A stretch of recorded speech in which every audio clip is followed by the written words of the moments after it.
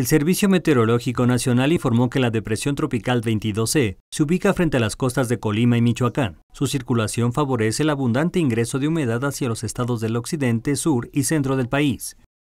En el más reciente aviso emitido por el organismo dependiente de la Comisión Nacional del Agua, reportó que la depresión tropical se ubica a 135 kilómetros al suroeste de Punta San Telmo, Michoacán, y a 170 kilómetros al sur de Manzanillo, Colima. El fenómeno natural registra vientos sostenidos de 55 km por hora y rachas superiores a 75 km por hora, con desplazamiento hacia oeste-noroeste a 11 km por hora.